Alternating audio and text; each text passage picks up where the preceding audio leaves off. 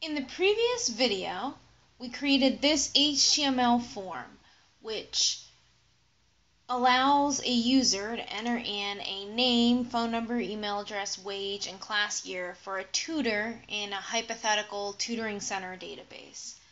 In this video, we want to build on this form by creating a PHP script that processes the information submitted by the user and sends it to a database. The database we'll be using is a MySQL database.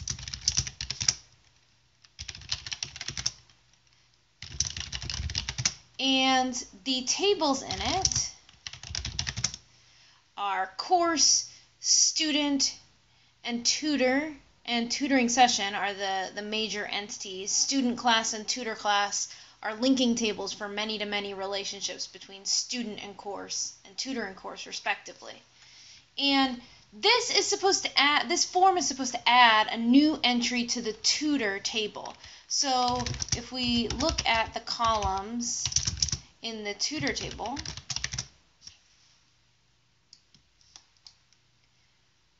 we see the last name should have a maximum of 40 characters. The first name should have a maximum of 25 characters. We can implement this into the uh, form right here. We can say max length is 25 for first name. Max length is 40 for last name we have our phone number, email address, hourly wage. The tutor ID will be automatically assigned by the database, so we don't have to worry about that. And the values that we put into our class year drop down box are exactly the ones in the enum, except we need a capital O here. And then finally, we'll default to an active status for our new tutor. So this information looks like it's ready to be put into the database. If we're going to submit it via a form, we need some kind of server-side language to actually interface with the database, and we're going to use PHP. Now, the HTML, especially the PHP file, should be in your um, server home directory, which in Linux is var slash www slash html. So I've already moved my files to the home folder for my server. And if you haven't done that yet, you should do so now. Pause the video, go move them into your home folder for the server. I'll put the proper paths for each of the three major operating systems Linux, Mac, and Windows in the description of this video. But for me, that's var www html because I'm using Linux. So now that these two files exist, the PHP file I haven't done anything with yet, I want to write it from scratch to process this HTML form. So I'll start with the begin and end HTML tags. And this is because I want to be able to display things to the user. I could just make a straight up PHP script file that does nothing, displays nothing in the browser. But I want to be able to show the user some error messages or some confirmation messages as we go forward. So I'm going to spit out an HTML file that will give this output to the user in the browser. Now, the form method is post and the form action is to load new tutor.php. Well, I called it add tutor, so I'm going to change the name of it now. Um, whatever your PHP file name is, that's what needs to go here in the action. So I'm calling it add tutor.php. That's what needs to go here. And I want to be able to grab each of the inputs from this form in the PHP script. So in order to start PHP, we type less than sign, question mark, PHP. And the variables are going to get stored in an automatic variable that's created by the form submission that's called dollar sign underscore post.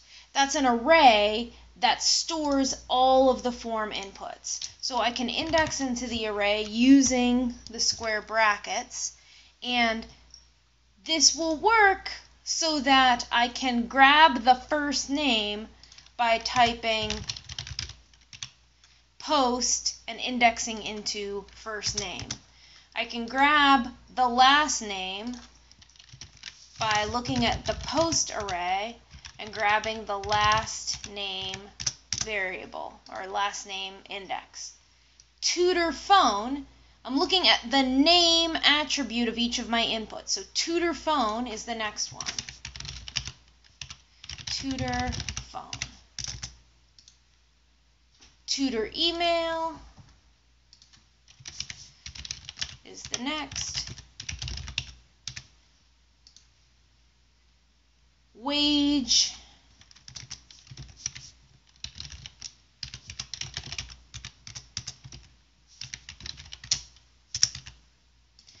And the last question is about class year. Now, right now, the code that I've written,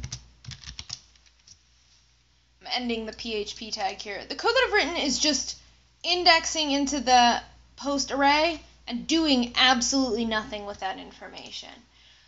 If I want to be able to grab the values, I can store them into their own um, variables. For example, I could create a variable called first name which is going to grab first name from the post array. I could create a variable called last name that is going to grab the last name. I can create a variable called, maybe I'll just call it phone, that grabs the phone number from the form. I can create an email wage and class year variable. Now, each of these variable names will refer to the output from the form that's been posted to this script.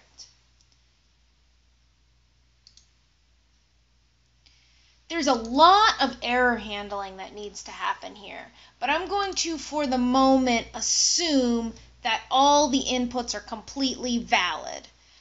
That's a very bad assumption to make. You should not do this in real life. But for right now, for the purposes of this video, I'm going to assume that the user has typed in valid information on the form for all of these, and I'm not going to worry about errors. We'll leave that for another video. So I want to write the SQL query that should insert this into the database. If I look at the database, which I'm going to want to look at simultaneously, the SQL query should look like ins insert into tutor and then what do I have? I have first name, last name, phone number, email, wage, class year. These are the database column names. They need to match the actual column names in your actual database. This is your actual database table. It needs to match your actual database table name. So insert into tutor into these columns the values first name, last name, phone, email, wage, class year.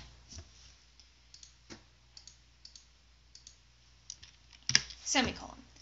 if I can create this string and then submit it to the database, I will be in great shape. So, this whole query should be a string in PHP. That's how I'd like to store it. And anything that needs to be put in quotes in SQL, I need to put the quotes in here. So first name is a varchar. It needs to have single quotes around it. Same with last name. Phone is an integer that doesn't get quotes. Email is a string. It gets quotes. Oops.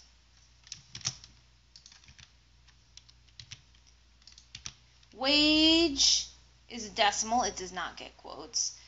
Class year will go in with quotes.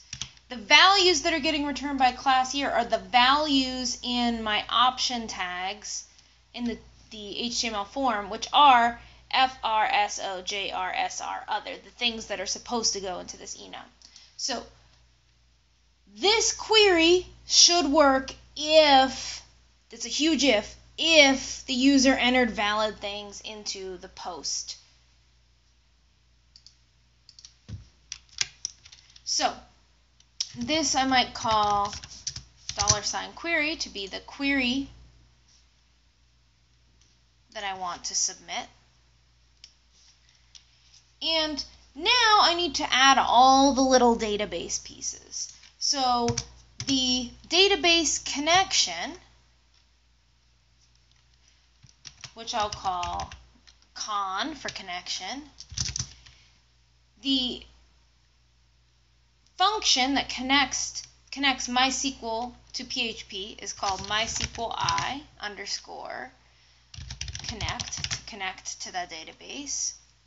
The first argument in this function is your server, which for us is localhost. If you're using a remote server, put your actual server here. Your username, which for me, I'm using the default setting, so I'm using root. That's very bad in production, but it's okay for us to use when we're testing on local servers. And then I gave myself a default password of Hurst123.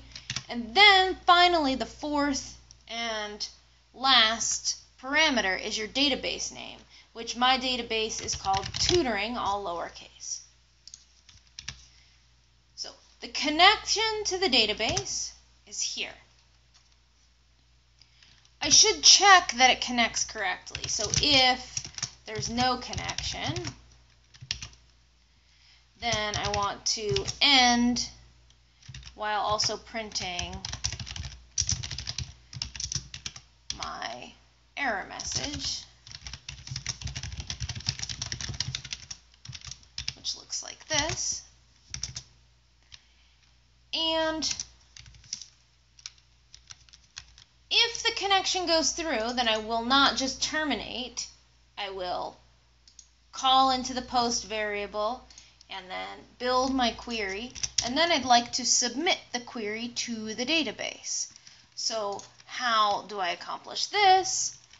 With the MySQLi underscore query function, which takes in as its first variable or first parameter the, the database connection, which we called con at the top, and then the query as its second parameter. Now, if there's an error, I should print that error. So if MySQL error for the connection. Then I want to print that error.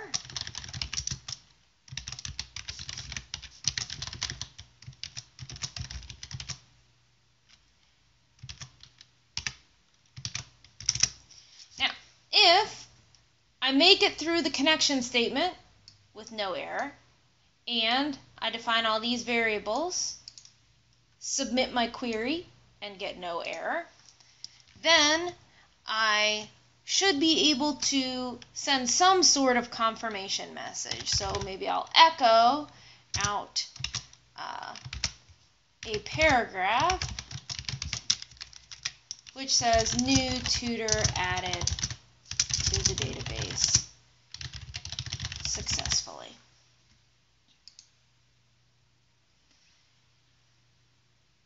Let's all our changes. I have to save as root because I'm in a privileged folder.